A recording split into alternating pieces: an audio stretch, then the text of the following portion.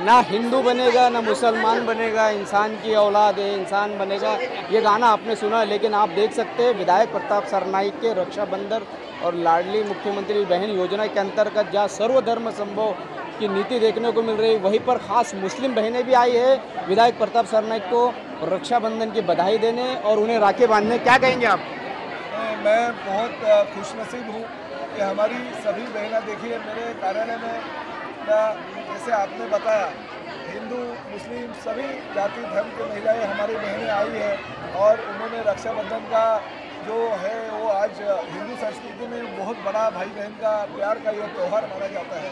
और हमारे सब मुस्लिम बहनें यहाँ पे आई है और उन्होंने जो हिसाब से आज मुझे रक्षाबंधन का जो अनोखी गिफ्ट उन्होंने दी है।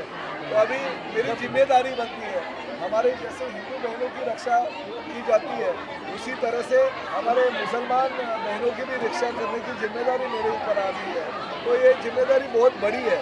तो मैंने तो कभी फ़र्क नहीं देखा कौन हिंदू है, कौन मुसलमान है। मगर भविष्य में भी इनके ऊपर जो भी अगर ऊपर वाला करे तो इनके ऊपर आपत्ति नहीं है। मगर आपत्ति आएगा तो सबसे पहले अगर इनके साथ उनका भाई खड़ा होगा तो प्रताप सरनाइक खड़ा होगा। तो ये थे विधायक प्रताप सरनाइक इन्होंने कहा कि इनके ऊपर जब भी आपत्ति आएगी तो उनका ये भाई सबसे पहले खड़ा होगा। रक्षाबंधन जो है, भाई बहन का एक पवित्र नाता माना है और इसीलिए सेलिब्रेट करते हैं। हम सभी जो है, मुस्लिम बहनें यहाँ पर आई हुई हैं, बहुत सारी आई हैं जो सर, साहब को राखी बांधने के लिए आई है, क्योंकि साहब ने प्रस्ताव पास करके लाड़की बहन योजना जो है, मुख्यमंत्री के पास प्रस्ताव ले गया उन्होंने पास कर दिया। आज हम सभी बहनें जो हैं, उनके अकाउंट में पंद्रह सौ रुपये महीने क्रेडिट हुए, हो रहे हैं। तीन हज़ार तो अभी क्रेडिट हो रहे हैं दो महीने के। तो सभी बहनें काफ़ी खुश हैं। और ये गिफ्ट जो है, हर हिंदू मुस्लिम लड़की को मिल रहा है, हमारे मुख्यमंत्री और हमारे साहब की तरफ़ से। इसीलिए हम सब ये सेलिब्रेट करने आए हैं पर।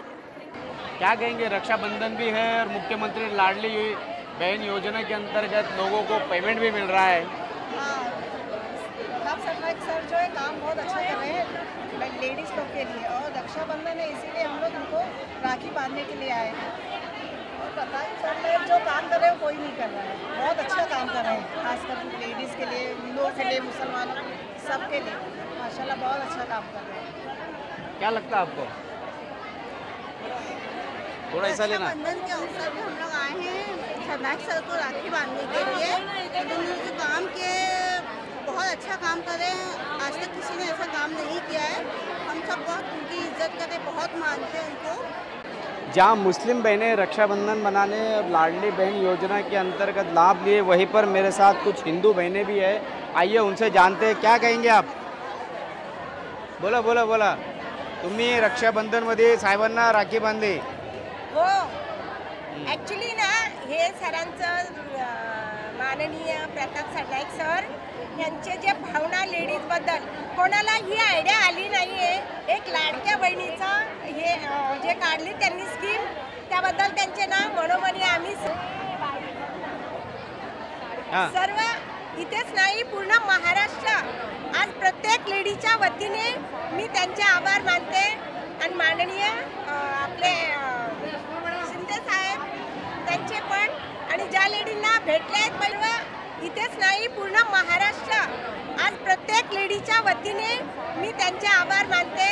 आणि माननीय आपले शिंदे साहेब त्यांचे पण. आणि ज्या लेडींना भेटले आहेत पैसे आज ते खूप खुश आहे आणि बऱ्याचशा लेडीज असे आहेत त्यांना हा लाभ घेता येणार नाही. त्यांच्याबद्दल तो देख रहे हैं आप, लाडली बहनों के चेहरे पर कितनी खुशी है। डबल उन्हें यहाँ पे तोहफा मिला है। एक और पंद्रह सौ रुपये महीना मिल रहा है। दूसरी ओर उन्हें विधायक प्रताप सरनाइक को राखी भी बांधने का मौका मिल रहा है। तो ये थे विधायक प्रताप सरनाइक और इन्होंने ने कहा कि इनके ऊपर जब भी आपत्ति आएगी तो उनका ये भाई सबसे पहले खड़ा होगा। इसी तरह खबरों के लिए मेरे यानी शकील शेख के साथ बने रहे, देखते रहे सिटी न्यूज़ मुंबई।